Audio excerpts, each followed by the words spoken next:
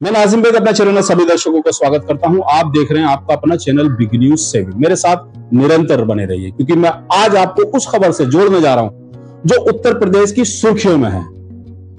आज मैं शिक्षकों से आपको जोड़ने जा रहा हूँ, क्योंकि ऑनलाइन अटेंडेंस पेंशन बहाली, ये सारे मुद्दे उनके हैं। मेरे साथ अटेवा से मौजूद हैं उमेश अंसारी, जिनसे हम पूछेंगे कि क्या मुद्दे हैं और क्या जो वो अटेंडेंस उत्तर प्रदेश गवर्नमेंट जारी करना जा रही है, क्यों इसका वो विरोध कर रहे हैं? क्या उनकी मांगे हैं? ये सारी जानकारियाँ हम उनसे करेंगे। तो चलिए, मेरे साथ मैं उन्हीं से मुलाकात कराता हूँ, उन्हीं से रूबरू कराता हूँ, क्या मुद्दे हैं उनको क्या कहना चाहते हैं वो। इस शिक्षा प्रणाली पर और अटेंडेंस ऑनलाइन अटेंडेंस के बारे में पेंशन बहाली को लेकर।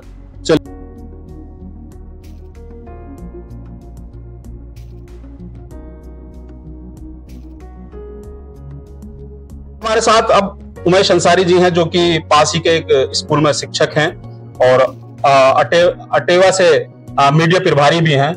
तो पहले तो हम आपका चैनल चैनल में खैर मकदम स्वागत करते हैं उमेश आपका बहुत बहुत शुक्रिया नाजिम भाई कि आपने जो हमारी शिक्षकों की आवाज़ है वो जनता तक पहुँचाने के माध्यम हमें उपलब्ध कराया है क्योंकि जो हमारे ये जितने भी पत्रकार बंधु हैं ये सबसे सशक्त माध्यम है आम जनता तक हमारी आवाज़ पहुँचाने का ताकि सब तक ये हमारी बात पहुंचनी चाहिए कि आखिर ये विरोध हो क्यों रहा है।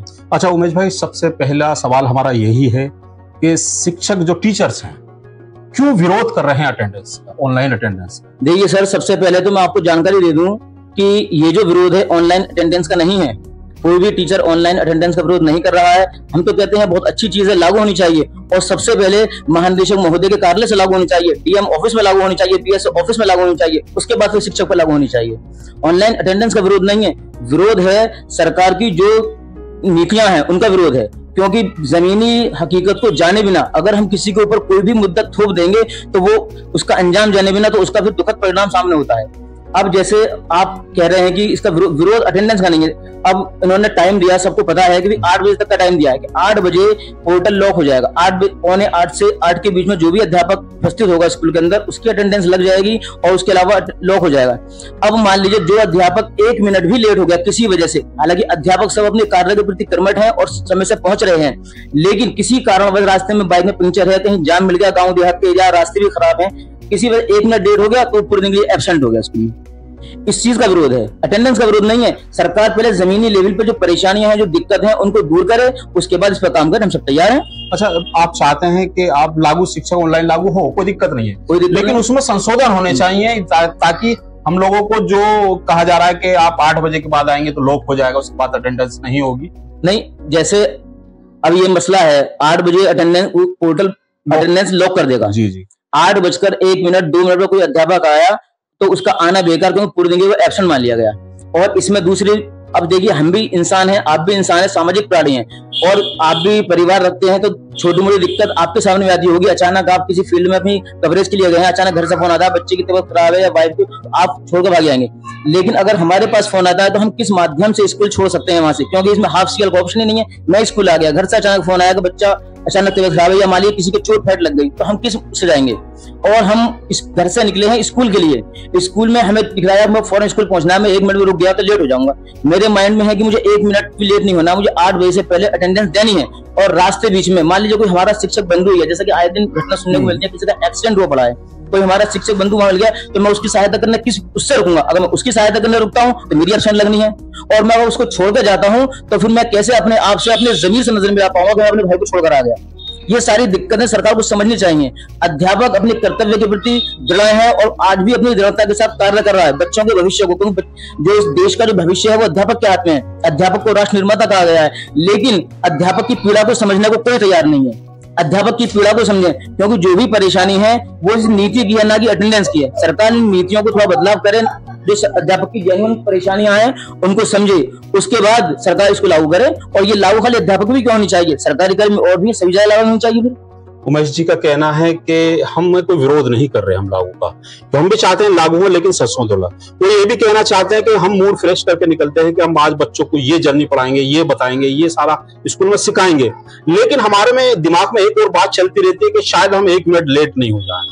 अगर एक मिनट लेट हुए तो हमारा पोर्टल लॉक हो जाएगा अटेंडेंस हमारी एबसेंट में बदल जाएगी। ये कहना और इनका ये भी कहना है कि हमसे ही क्यों शुरुआत हो रही है? सरकारी पूरी मशीनरी से शुरुआत होनी चाहिए। सभी ऑफिसों में लागू होना चाहिए। अच्छा एक और बात मैं देखू। मैं देख रहा हूँ कि पेंशन को लेकर भी आप लामबंद हो रहे हैं। आ, पेंशन चाहते हैं कि आप पेंशन लागू हो। इस बारे में क्या कहना देखिए आपने बहुत अच्छा सवाल किया है क्योंकि मैं अटेवा से जिला मीडिया प्रभारी भी हूँ। तो अटेवा जो संगठन है, वो सिर्फ़ पेंशन की लाइन लड़ रहा है। हमारे जो राष्ट्रीय अध्यक्ष हैं, माननीय विजय बंधु जी, वो इस संघर्ष को लेकर चल रहे हैं। क्योंकि जो कर्मचारी अपने जीवन का बहुमूल्य समय सारा जीवन इस विभाग के नाम कर रहा है, या कोई भी सरकारी कर्मी है तो क्या उसको पेंशन का अधिकार नहीं है? सपोज़ कीजिए कोई विधायक एक दिन के लिए भी विधायक बनता है तो उसको पेंशन दोबारा बनते हैं, किसी और पद पे जाते हैं तो दो पेंशन तीन पेंशन पाँच पाँच पेंशन पा रहे हैं। लेकिन जो कर्मचारी, जो अपना सारा जीवन, अपना जो बहुमूल्य जीवन का होता है, वो सब कुछ इस विभाग को या अपने कार्य को दे देता है तो क्या उसको पेंशन पाने का अधिकार नहीं है? अर्धसैनिक बल, जो हमारी सेवा के लिए अपने प्राणों को अपनी हथेली पर रखकर अपनी जान नौछावर कर देते हैं, क्या उनको पेंशन पाने का अधिकार नहीं है? उन सबको पेंशन पाने का अधिकार है, क्योंकि जो भी नेता है, उनका कोई संवैधानिक वैसा पद नहीं है कि वो उनको पेंशन चाहिए, लेकिन वो पेंशन ले रहे हैं दो दो नहीं चार चार पाँच पाँच पेंशन ले रहे हैं, और कर्मचारी को पेंशन नहीं है। पेंशन मात्र कुछ सिक्के या कुछ रुपयों नहीं है। पेंशन देता है हमें जीने का अधिकार। पेंशन है हमारा बुढ़ापे का सहारा। पेंशन है हमारा एक जो हमारा मान सम्मान कायम रखता है। आज के हालात आप देख रहे हैं, जैसे हालात चल रहे हैं सब जगह नहीं है लेकिन कुछ जगह ऐसे हैं कि जो लोग रिटायर हो गए आज भी बेचारे मेहनत मजदूरी कर रहे हैं बुढ़ापे में जो चल नहीं सकते लेकिन पेट की खातिर मजदूरी कर रहे हैं औलाद ने भी छोड़ दिया या किसी की औलाद नहीं है वो परेशान लेकिन पेंशन जो है वो उनको सम्मान से जीने का अधिकार देती है। इसलिए पेंशन का पेंशन चाहिए उनको उमेश जी का कहना हम पेंशन नहीं अपना अधिकार मांग रहे हम अपना सम्मान मांग रहे हैं। जो हमने अपना समय व्यतीत किया था जो हमने अपना आ, समय बांटा था औरों के साथ शिक्षा दी थी हम चाहते हैं कि हमें भी सम्मान मिले जो कि हमारा जो कहते हैं रिटायरमेंट के बाद जो सम्मान होना चाहिए वो हमारा सम्मान होना चाहिए। बता रहे कि राजनीतिक लोगों को एक पेंशन नहीं दो पेंशन नहीं तीन तीन पेंशन मिलती है। हम तो केवल एक पेंशन की गुजारिश सरकार से कर रहे हैं। वो भी शायद सरकार हमारी तरफ़ और ध्यान नहीं दे पा रही। उनका ये भी कहना है कि शायद अच्छा जैसे मैं देख पा रहा हूँ कि अटेवा की ओर से सभी शिक्षकों की ओर से आंदोलन चल रहे हैं ऑनलाइन हाजिरी को लेकर पेंशन को लेकर। तो क्या अटेवा की तरफ़ से क्या कार्यक्रम किए जा रहे हैं? देखिए अटेवा अटेवा का मात्र एक मुद्दा है पुरानी पेंशन बहाली। जी। और पुरानी पेंशन जो पहले पुरानी पेंशन थी हु बहु वही चाहिए। उसमें कोई संशोधन जैसे सरकार ने भी कहा था कि हम कुछ संशोधन कर पुरानी पेंशन कर नहीं संशोधन नहीं चाहिए हमको हु बहु पुरानी पेंशन चाहिए जो पहले पुरानी चली आ रही है। तो हमें उस पुरानी पेंशन लाइव लाया अटेवा और बाकी सभी संगठन एक अध्यापक होने के नाते अध्यापक हितों के लिए जो ऑनलाइन अटेंडेंस का विरोध चल रहा है इसमें हमारा सबका सहयोग है क्योंकि सब कर्मचारी हम एक ही हैं। चाहे इसमें अध्यापक है अटेवा के अंदर तो अध्यापक है या किसी भी विभाग का कर्मचारी है रेलवे से है चिकित्सा विभाग से है या अदर किसी विभाग से है इसमें सभी अधिकारी कर्मचारी क्योंकि Atewa all teachers employees welfare association यानी कि इसमें सभी अधिकारी कर, कर्मचारी सब है। राजनीतिक लोगों का यह भी कहना है कि शिक्षक संघ शायद अब राजनीति में आ रहे हैं क्योंकि राजनीति कर रहे हैं आंदोलन कर रहे हैं ये राजनीति का एक पार्ट भी बना दिया उन्होंने। तो क्या उनका कहना ये सही है?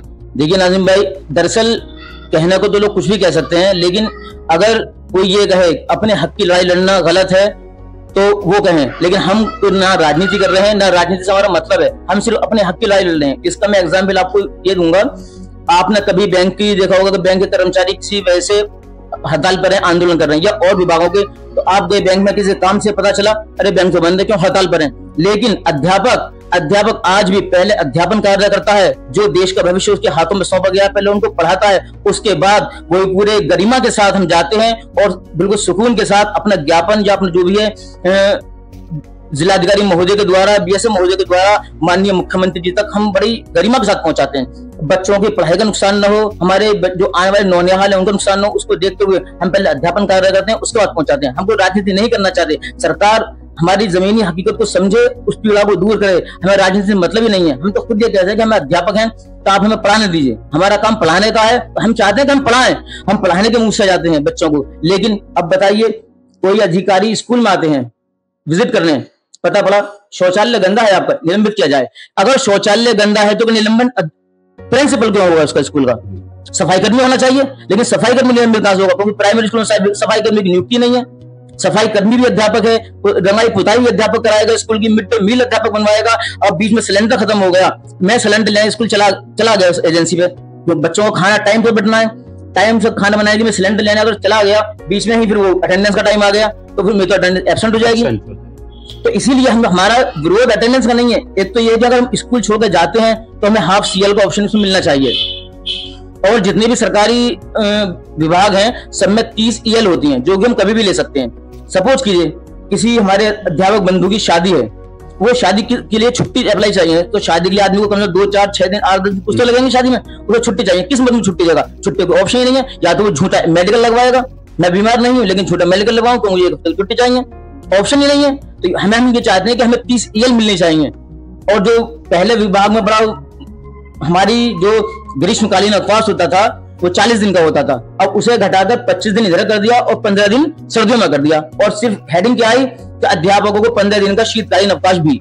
लेकिन ये नहीं बताया कि वो वहाँ से काटकर इधर दिया गया है। हम कहते हैं, ना हमें शीतकालीन अवकाश दीजिए, ना हमें ग्रीष्मकालीन अवकाश दीजिए। हमें तो आप टीएसईएल दीजिए और विभागों की तरह। जैसे जिन्हें कि हम अपनी सुविधा अनुसार इस्तेमाल कर सकते हैं। क्योंकि ग्रीष्मकालीन अवकाश ग्रीष्मकालीन में आएगा। अब मान लीजिए हारी बीमारी, कोई रिश्तेदार किसी की डेथ हो गई तो क्या रिश्तेदार से हम ये कहेंगे कि आप ग्रीष्मकालीन में अपनी मौत करना, हमें छुट्टी तब मिलती है। या कोई बीमार होगा तो ये कहेंगे, आप शीतकालीन में बीमार पड़ना, हम तब देखने आ सकते हैं, हमें छुट्टी तब मिलती है। नहीं कर सकते ना तो उसका कोई प्रावधान नहीं है। इसलिए ज़रूरत है तो ज़रूरत सिर्फ़ इस बदलाव की है, जो सिस्टम बना हुआ है, जो एसी हॉलों में बैठकर रणनीति बनाई जाती है, उन रणनीतियों से काम नहीं चलेगा, जमीनी हकीकत देखनी पड़ेगी पहले। ज़मीन पर आगे उतरना पड़ेगा कि आखिर हकीकत क्या है। तब उसके बाद काम करेंगे, और अध्यापक तो वो है जिसने आज तक सब, हर काम में अध्यापक ने बच्चों के हिस्सा लिया है। जनगणना बाल गणना आर्थिक गणना, आधार कार्ड और बच्चों के आधार कार्ड बनवाना, मिड डे मील बनवाना रंगाई पुताई, बिल्डिंग बनवाना, पोलियो आज जो हिंदुस्तान गर्व से कहता है आज हम पोलियो मुक्त हैं। मैंने पहले सात साल यूनिसेफ में जॉब किए, एक साल डब्ल्यूएच में जॉब किए डिस्ट्रिक्ट अंडर कोऑर्डिनेटर के और यहाँ भी मैं रहा हूँ। तो मैंने खुद देखा है कि अध्यापक बंधुओं ने कैसे कांधे से कांधे मिलाकर पोलियो उन्मूलन में बच्चों के हिस्सा लिया है और इस देश को पोलियो मुक्त कराने में हिस्सा लिया है। तो खाली अध्यापक कम पढ़ाना कहाँ? अध्यापक तो हर काम में बच्चों के हिस्सा ले रहा और सरकार का कोई ऐसा प्लान कोई ऐसी रणनीति बताएगी जिसमें अध्यापक ने हिस्सा लिया हो? क्या चुनाव सरकार अध्यापक के बिना करा सकती है? नहीं। जितने भी काम हो रहे हैं, जितने भी अध्यापक समय पर और उसके बाद भी अफसोस तब होता है जो अध्यापक को काम कहा जाता है। बिल्कुल सही बात कही है उबेद जी ने, क्योंकि राजनीतिक जो लोग आज राजनीतिक मंच पर, पद पर बैठे हुए हैं उसकी देन है ये शिक्षक, क्योंकि ये चुनाव कराते हैं और चुनाव के बाद उनका जीत कर पहुँचना पार्लियामेंटों में और जहाँ ये निर्णय बनाए जाते हैं कि शिक्षक को ऑनलाइन अटेंडेंस देना होगा। तो देश निर्माण में सबसे ज़्यादा कार्य शिक्षकों का ही है, लेकिन उनको अनदेखा किया जा रहा है। उसका कारण है जो आज हम ये शिक्षक आंदोलन कर रहे हैं। और एक और बात सही कही है उबेद जी ने कि हमने कभी शिक्षा को बाधित नहीं होने दिया। डिस्टर्ब नहीं होने दिया। वो शिक्षक वो बच्चे जो कि देश का निर्माण करते हैं, पहले हम उनको शिक्षक का अध्ययन कराते हैं, उसके बाद हमारी जो मांगे हैं, हमारा जो आंदोलन है, हम उसकी शुरुआत करते हैं। हमारी मांगे अच्छा क्या कहना चाहते हैं सरकार को, हमारे चैनल के माध्यम से, जो आपकी आवाज़ वहाँ तक पहुँचे? देखिए, सबसे पहली चीज़ तो यही है, आपके चैनल के माध्यम से या जो भी हमारे पत्रकार बंधु है, मैं सभी से निवेदन करूँगा कि जो सच्चाई है, उसको आम जनता तक पहुंचाएँ। क्योंकि जनता तो सीधी सादी भोली वाली है। जनता को तो जो दिखाई देगा उसी को कहेगी। क्योंकि आज भी जनता के मन में या बहुत सारे लोग जैसे आज आज इतफाक साहब आ गए हैं, बहुत सारे साथी हमसे पूछते हैं आखिर अटेंडेंस का विरोध जब आप लोग टाइम से जाते ही हैं तो आखिर विरोध क्यों चल रहा है अटेंडेंस का? अटेंडेंस दीजिए तो अभी ये समझने की ज़रूरत है कि विरोध अटेंडेंस का है ही नहीं। विरोध तो नीति का है। तो इसीलिए जितने भी लोग मेरी आवाज़ सुन रहे हैं या सरकार तक मेरी आवाज़ पहुँच रही है तो हम सिर्फ़ यही कहना चाहते हैं कि हम अटेंडेंस का विरोध नहीं कर रहे हैं। पहले सरकार जो हमारी जायज़ मांगे हैं नाजायज मांग कुछ नहीं कर रहे हैं। जो जायज़ मांगे हैं सरकार उन पर विचार करे उन चीज़ों को लागू करे तो उसके बाद अटेंडेंस को लागू करे। और अगर देखिए और रही ऑनलाइन सिस्टम की बात अभी ये चल रहा है बच्चों की एमडीएम की उपस्थिति और जो बच्चों की उपस्थिति ऑनलाइन चल रही है। तो इनका जो पोर्टल है दो दिन काम करता है चार दिन ठप रहता है।